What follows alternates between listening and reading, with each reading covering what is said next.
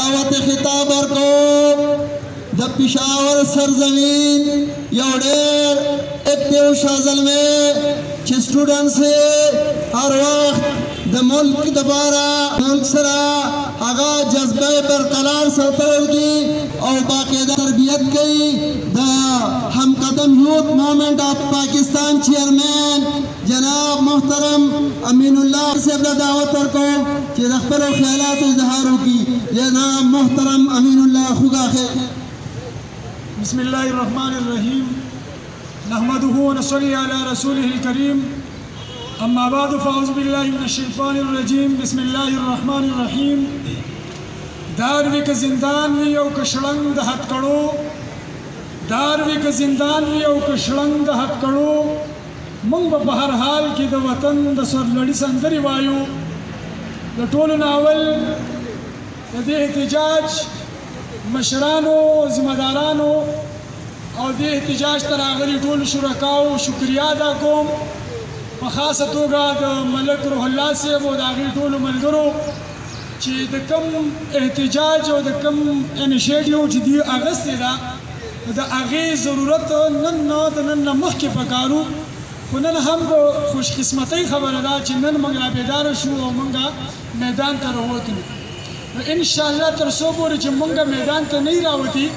نو وایي د خبرو سره انقلاب نه راځي او انقلاب چې کله راځي نو هغې لپاره به عملي توګه باندې میدان ته راکوزېږي، نو که نن موږ میدان ته راکوز شو نو ان شاء الله لرې نه ده چې زموږ دا مطالبات به.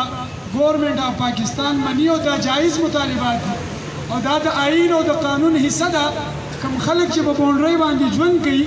او هغه چې دی په بونډري لاین باندي نو هغې ته د قانوني طور باندې دا اجازت دی چې دا تیس کیلو میټر هغه طرف ته او دې خوا چې دی دوی خپل ژوند کولی شي او دا هغه طرف ته هم چې دی دېرش کیلو میټره تللی شي. خو د بدقسمتۍ نه د خوګاخېل قوم هغې چې دی د خپل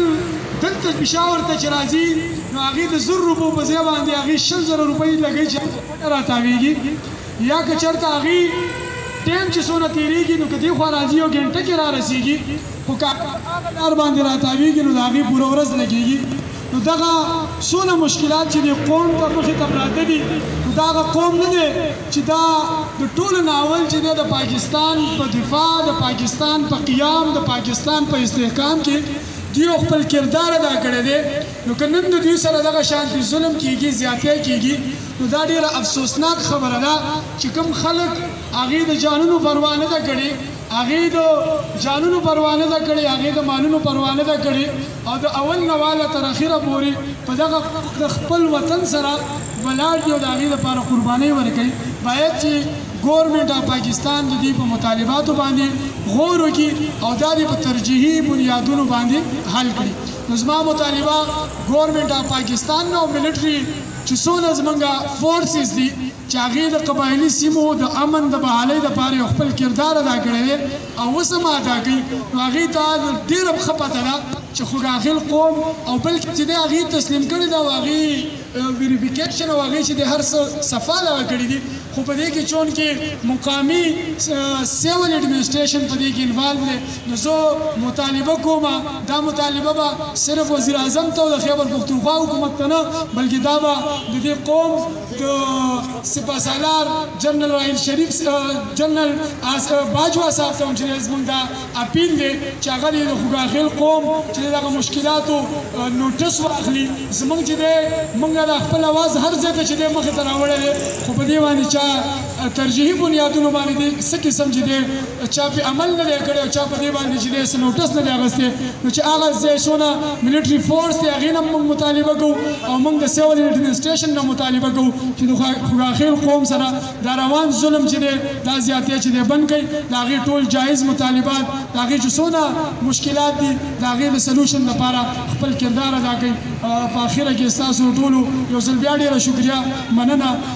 او ان شاء الله همیشه به په دغه کاروان کې ولاړی چې په کوم ځای کې زموږ ضرورت پیږي ان شاء الله هم کړو یو ته پاکستان ځوانان بچره شان به شان ولاړی خون جګر دې کې نکارېږي روخ برګ ګلاب خون جګر دې کې نکارېږي روخ برګ ګلاب ہم نے گلشن کی تحفظ کی قسم کھائی ہے وما علینا الا البلاء المبین